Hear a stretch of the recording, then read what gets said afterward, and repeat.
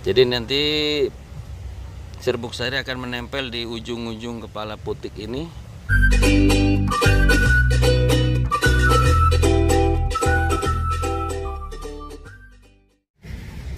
Ini merupakan permukaan dari bunga nangka ya yang masih sangat muda dan belum siap diserbuki ya ini dia. Permukaannya seperti ini.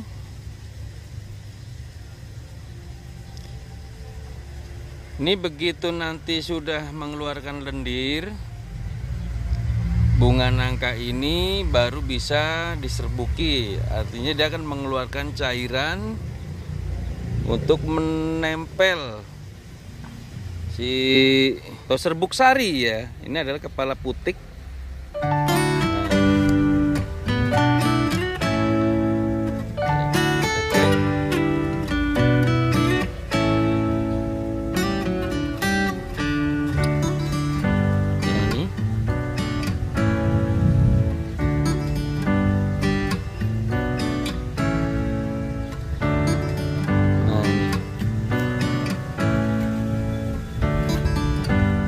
ini permukaannya dan kita lihat yang putih-putih adalah kepala putiknya ya.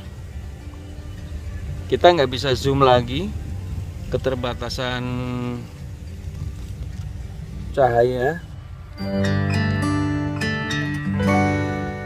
Nah jadi nanti untuk bunga ini ini bunga betina ya yang nantinya akan diserbuki oleh serbuk sari oleh bunga jantan melalui serangga ataupun angin ya. Biasanya untuk bunga jantan muncul lebih dahulu ya. Tapi nanti ketika ini sudah siap diserbuki bunga jantan akan muncul lagi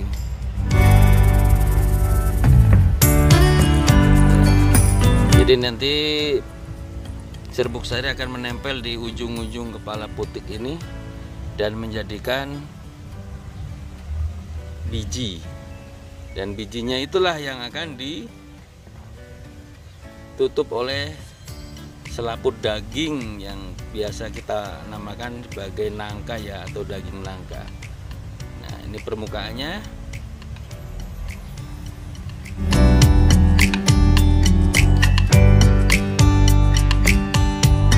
jadi memang permukaannya kasar ya.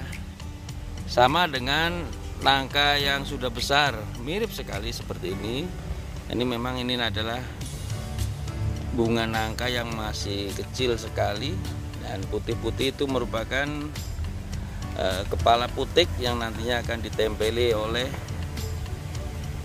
serbuk sari. Jadi uh, ini akan menunggu ke lebih besar lagi ya kemudian akan mengeluarkan lendir untuk menempel mengikat serbuk sari.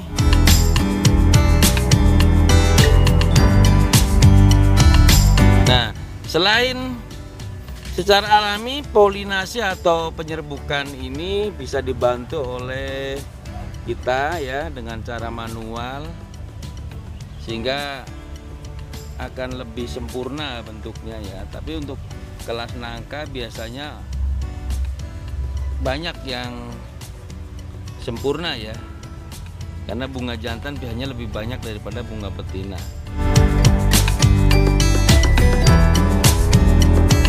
Nah ini merupakan bunga betina dari nangka kandel ya lokal yang kita tanam mungkin eh, empat tahun yang lalu dan ini baru berbunga karena memang ya, lokasi lahan yang selalu basah karena di sekitarnya adalah bibit tanaman. Dan ini pohonnya udah cukup besar dan di atasnya adalah cemedaking merah Malaysia ya. Ini udah di top working di atasnya. Dan masih ada satu cabang yang nangka kandel. Ini cabangnya nangka kandel. Kita juga belum pernah makan atau mencicipi untuk nangka jenis ini ya. Karena belum mendapatkan akses buahnya dan semoga nangka ini bisa menjadi buah ya atau bunganya bisa menjadi buah dan bisa kita incipi untuk ke depannya. Nah, di samping ini merupakan calon bunga nangka yang berikutnya ya masih terbungkus oleh selaput. Nah, ini dia. Alhamdulillah dan terima kasih teman-teman. Semoga ini menjadi uh, informasi yang baik ya untuk perkembangan tentang nangka kandel yang kita tanam di kebun Bolang Garden. Oke, terima kasih. Semoga bermanfaat dan Assalamualaikum warahmatullahi wabarakatuh.